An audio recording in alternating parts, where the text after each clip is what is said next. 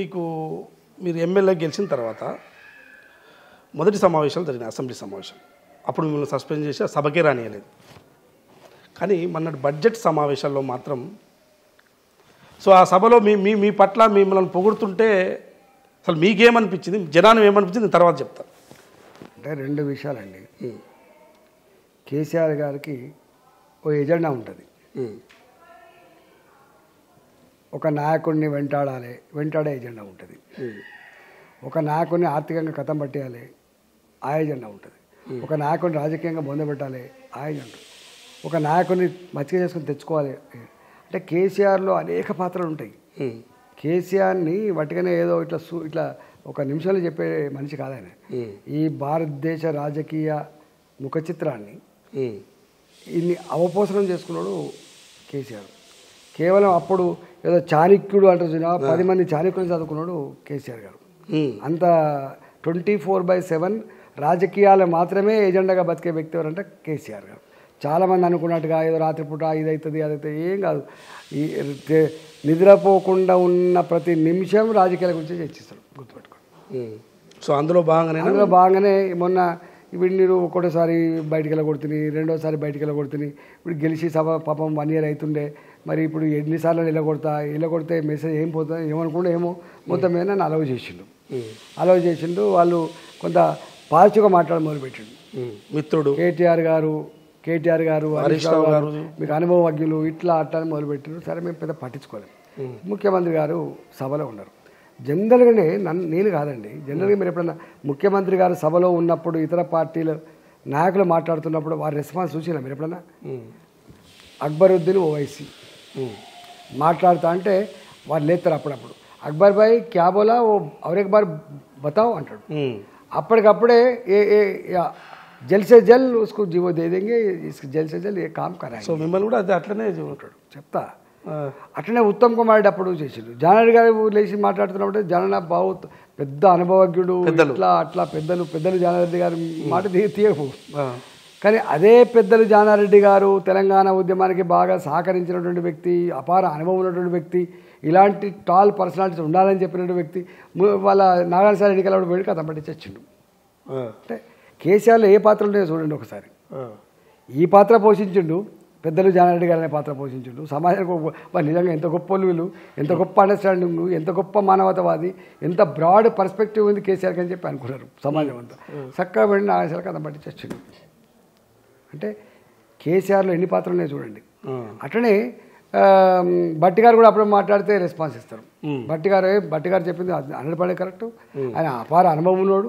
ఏ మంత్రి గారు మీరు రాసుకోండి చేయమన్నాడు. మొన్న నేను ఏం చేసిన అంటే నాకు వారి సైకాలజీ అంతా చూసిన వాడిని కాబట్టి వారి వారి ఎట్లా నిర్ణయాలు ఉంటాయో ఎట్లా సమాధానం చెప్తారో తెలుసు కాబట్టి నేను సంవత్సరంన్నర అవుతుంది గెలిచి నా ప్రజలకు న్యాయం చేయాలి. రాజేంద్రనే పోయిండు వీఆర్ఎల్ సమస్య మాట్లాడతాడు. రాజేంద్రనే పోయిండు మహిళలు రావాల్సినటువంటి నాలుగు వేల రెండు వందల కోట్ల రూపాయల బకాయిల గురించి అడుగుతాడు. రాజేంద్రనే సభకు పోయిండు స్థానిక సంస్థలకు రావాల్సిన నిధుల గురించి అడుగుతాడు. స్థానిక సంస్థల ప్రజాప్రతినిధులు చేసిన పైసల పనుల పైసల గురించి అడుగుతాడు. ధరణిలో జరిగిన అక్రమాల గురించి అడుగుతాడు. ఇట్లా అనేక రకాల ఈ రా తెలంగాణ గడ్డ మీద ఎన్ని సంఘాలు అయితే ఉన్నాయో ఆ సంఘాలకు సంబంధించిన దరఖాస్తులు నా దగ్గరికి వచ్చినాయి కాబట్టి వాటి ప్రస్తావించి పరిష్కరించాలని చెప్పి అనుకున్నా చెప్పే మొదలుపెట్టి నీకు ఐడియా ఉందా? నేనేమన్నా ముఖ్యమంత్రి గారు సభలో ఉన్నారు నా అదృష్టం. ఎందుకంటే నేను సమస్యలు ప్ర ప్రస్తావిస్తా దాన్ని తప్పకుండా పరిష్కారం దొరుకుతా నమ్మకం అని చెప్పి మొదలుపెట్టినా అనుకున్నట్టుగానే వారు డైట్ ఛార్జెస్ విశ్వవిద్యాలయాల్లో పేద పిల్లలు చదువుకున్నటువంటి విశ్వవిద్యాలయాల్లో డైట్ ఛార్జీలు పెంచమని చెప్పిన తక్షణం అంగీకరించారు మహిళలకు నాలుగు వేల వందల కోట్ల రూపాయలు బకాయిలు ఉన్నారు మీరు ఇవ్వాలని చెప్పిన వెంటనే స్టడీ చేయమని చెప్పిండ్రు. ఇట్లా అదే మీరు ఏది చెప్పినా మీరు ఏది చెప్పినా ఓకే అంటున్నారు ముఖ్యమంత్రి గారు. ఆయన స్ట్రాటజీ అది. హుజరాబాద్లో ఓడగొట్టడానికి సర్వం ప్రయత్నం చేసిండు సో అప్పుడంటే ఏదో మీరు బయటికి వెళ్ళారు నేను- తర్వాత నేను ముఖాన్ని నిషేధించాలని చెప్పి అనుకుంటే హుజరాబాద్ పై పిచ్చోళ్ళు వాళ్ళు నన్ను ఆయన గెలిపించి మళ్ళీ పంపించని చెప్పి మీరు పంపించి గెలిపిస్తారా నా కొడక? ఇక్కడ చెండ శాసనంలాగా ఇక్కడ సభలో ఉన్నా నేనని చెప్పిండు బయటికి పంపించిండు. మళ్ళీ ఎందుకో రానిచ్చిండు రానిచ్చి ఇలా మాట్లాడిచ్చిండు మాట్లాడిచ్చి ఆన్సర్ కూడా చెప్పిండు. అసలు మీరు ఏం చెప్తే అది చేస్తున్నారు? నేనేం చెప్పాను తప్పు. అందుకనే వేణు మీరు ట్విస్ట్ చేయొద్దు. ఈటల రాజేంద్ర గారు కాదు. అంతకంటే ముందు కూడా చూడండి అంటున్నాను అది చెప్పారు మీరు అందరూ విన్నారు. చరిత్ర జానారెడ్డి చెప్పారు బట్టి విక్రమార్క చెప్పారు. ఉంటుంది. సో అందరు సభలో వారు మాట్లాడుతున్నప్పుడు ఎంత గొప్పగా మాట్లాడతారంటే అబ్బా ఎంత గొప్ప సంబంధాలు ఉన్నాయి. ఎంత గొప్పోళ్ళు జనరల్గా వాళ్ళకు ఎంత సంబంధాలు ఉన్నాయి కానీ మీకు కేసీఆర్ గారికి అయితే సంబంధాలు ఉన్నాయి అందరికీ తెలుసు కదా. అట్లా కాదండి. మొన్న ఏదో కొంత ఏదో ఆరు నెలలు వన్ ఇయర్ మీకు అందుకనే నేను ఇరవై సంవత్సరాల పాత్ర ఒకటి. ఇరవై సంవత్సరాల తర్వాత వారు నన్ను బండకేసి కొట్టాలనుకున్నారు. నేను కథం పట్టి అనుకున్నాడు తన శక్తిని మొత్తం దారపోసిండు ఆయన కొడితే ఇక మామూలు ఉండదు. ఆయన నిర్ణయం తీసుకున్నట్టు ఇక తన శక్తిని మొత్తం దారపోసి కొట్టే ప్రయత్నం చేస్తాడు.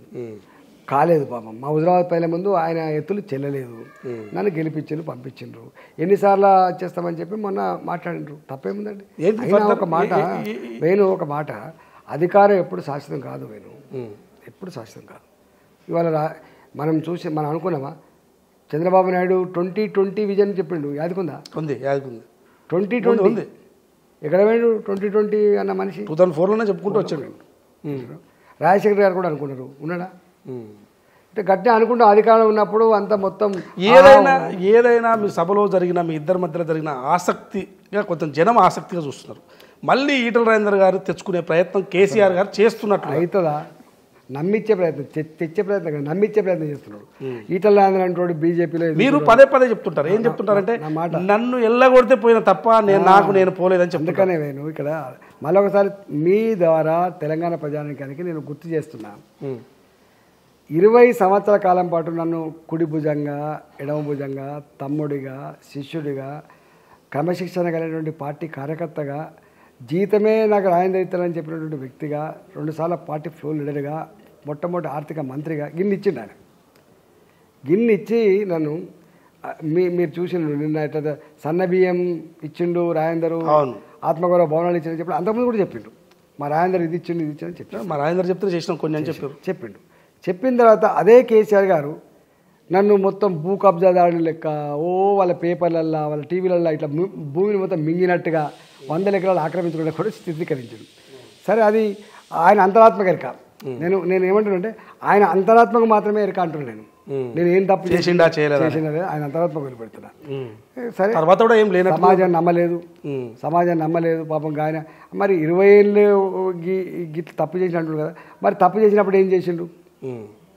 అప్పుడు మంచోడు ఎట్లా అయింది ఇప్పుడు చెడ్డోడు ఎట్లా సరే అదంతా ఒక ఎపిసోడ్. అంతే. సో ఆ ఎపిసోడ్ ఇవాళ ఇవాళ ఏం జరుగుతుందంటే వీడు బీజేపీ పార్టీలోకి పోయిండు. ఇలా బీజేపీలో కూడా మంచి ఢిల్లీ దాకా సంబంధాలు పెట్టుకున్నాడు. వీడికైనా పుష్కర పొజిషన్ గిట్ట వస్తారేమో వీడికైనా బాధ్యత ఇస్తారేమో. బాధ్యత ఇస్తే వీడు ఒక ఉద్యమకారుడు వీడు అనగారిన వర్గాలకు ప్రతీక. వీడికి అనుభవం ఉన్నోడు వీడు నా పార్టీలో ఉండొచ్చినోడు. నా- మెలకులు కూడా ఆయన కొన్ని తెలిసే ఆస్కారం ఉంటుంది. కాబట్టి వీడు వీడు వస్తే కొంత ఏమైనా ప్రమాదం ఉంటుందని చెప్పి అనుకొని ఆ ఆధినాయకత్వంలో కన్ఫ్యూజన్ క్రియేట్ చేయాలన్నటువంటి ఒక భావనతో చేసినడా? లేకపోతే ప్రజానికాన్ని నమ్మించే దాంట్లో ఒక చేసినడా? లేకపోతే వాళ్ళ ఎమ్మెల్యేలకు ఏమైనా విశ్వాసం కలిగించడానికి చేస్తున్నా మొత్తానికి ఆయన ఆయనకి ఏది చేసినా కేసీఆర్ యొక్క మనసు మీకే ఎక్కువ తెలుసు. ఇప్పుడు జనరల్గా అయితే. ఇవన్నీ ఇవన్నీ అందుకనే అంటారు నాకంటే ఎక్కువ తెలియదు తెలిసినది ఎవరు లేరు.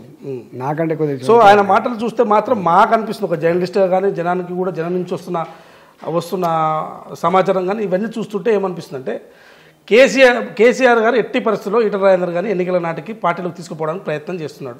నేను చిన్న పిల్లగానే అండి? నేను చిన్న పిల్లగానే? నేను పార్టీలు మాటను కాదు నేను ఫస్ట్ నా క్యారెక్టర్ అర్థం కావాల్సింది. ఇప్పుడు కూడా అక్కడక్కడ అనుకుంటా ఉంటారు. నిజమేనేమో రాజేంద్ర పోతురా? ఎక్కడ పోడు రాజేంద్ర అన్న రాజేందర్ రాజేందర్ అన్న పార్టీలు మారేటోడు కాదు. పార్టీలు మారే సిద్ధాంతానికి వ్యతిరేకమైనోడు. రాయన్ ఈటల రాజేంద్ర అన్న నన్ను మెడలు బట్టి బయటికి పెట్టిండు అవును మట్టికి వెళ్ళగొట్లే మెడలు బట్టి within twenty four hours ఏదో భూ కో- భూ కుంభకోణం అని చెప్పి భూ కబ్జా కూడా అని చెప్పి టీవీలలో అట్లా వార్తలు రా రాయించి ఎవరితో నా మీద కంప్లైంట్ చేయించి వెంట వెంటనే చకచక చకచక ఇరవై నాలుగు గంటలు జరిగిపోయింది కదా. సో మీరు నిజంగా అప్పుడు ఆ టైం ఆ టైంలో మీరు కాంగ్రెస్ వైపు చూసారు కాంగ్రెస్ వైపు చూసారు ఏ దేని వాస్తవంగా దేని వైపు చూడలే. వాస్తవం మేమే ఒక సొంత పార్టీ పెట్టుకోవాలని చూసినాం. ఏమైంది మరి సొంత పార్టీ? మాకు ఇక పరిస్థితులు ఇవన్నీ చూసినాం. మా వయసు ఏంది, తట్టుకోలేమనుకున్నారా మా ఏంది, సొంత పార్టీ తట్టుకోలేము మనం అనుకున్నారా? మేము వంద శాతం కేసీఆర్ గిన్ని రకాల అవమానపరిచింది కాబట్టి తప్పకుండా దీనికి ఏదో ఒకటి ఉండాలి. ఇక్కడ మనం వెనుకకు తగ్గద్దు ఓడిపోవద్దు. బరిగేసి కొట్టాలని చెప్పి అనుకున్నాం ఎందుకంటే పోరాటమే ఊపిరిగా బతికినాం కాబట్టి కొట్టాలనుకున్నాం. సరే అందరితో మాట్లాడుకున్నాం. మీకు తెలుసు కాంగ్రెస్ పార్టీతో నాయకుతో మాట్లాడినా బీజేపీ పార్టీ నాయకుతో మాట్లాడినా టీఆర్ఎస్ చిన్న- పార్టీ మాట్లాడినా చిన్న ఇంటరప్ట్ మీరు కాంగ్రెస్తో మాట్లాడుతున్నారు స్టార్ట్ చేయగానే మీ పైన కేసులు వచ్చినాయి. ఏ కేసులు అంతకన్నా ముందు లేదు. ఏ కేసులు లేవు ఏం లేవు వాస్తవాన్ని చెప్పాలంటే. అంతా బట్టి బక్వాస్ అదంతా కేసులు లేవు పాలు లేవు. ఉన్నాయా కేసులు ఏమన్నా? పెట్టిండు ఏమన్నా? ఏది లేదు. అటుకనే పేపర్లో రాయించి ఒక వాతావరణ కల్పన చేసిండు కేసీఆర్ గారు. సో మేము మిమ్మల్ని అయితే కొంచెం భయభ్రాంతులకు గురి చేసిన టైంలో? భయపడతారు. ఇట్లా అని అంటాడు భయపడే బీజేపీలోకి పోయినాను కదా? తప్పు. నేను ఏమనుకున్నా అంటే కేంద్రంలో అధికారం No, no, ఉంది no. నేను ఇందులో. అయితే సేఫ్ అవుతానేమో నేను చెప్తా. కేసీఆర్ గారు గిన్ని రకాల హింస పెట్టిండు. దీనికి ప్రతీకారం తెచ్చుకోవాలి. దీనికి మంచి వేదిక ఏంటిది అని డిసైడ్ చేసుకున్నాను మంచి వేదిక ఢిల్లీలో మోడీ గారి నాయకత్వంలో కేంద్ర ప్రభుత్వం ఉన్నది. పద్దెనిమిది రాష్ట్రాల్లో అధికారం ఉన్నది. ఇవాళ ఈ రాష్ట్రంలో ఎప్పుడు అధికారంలో రాని పార్టీ ఇలా బీజేపీ అంటే కొంత క్రేజీ ఉన్నది తప్పకుండా. బీజేపీ ప్లాట్ఫామ్ అయితేనే మంచిగా దీనికి రిజల్ట్ తెచ్చుకునే ఆస్కారం ఉందని చెప్పి అనుకున్నాం. అనుకొని పోయినాం. పొలిటికల్ పార్టీ అది.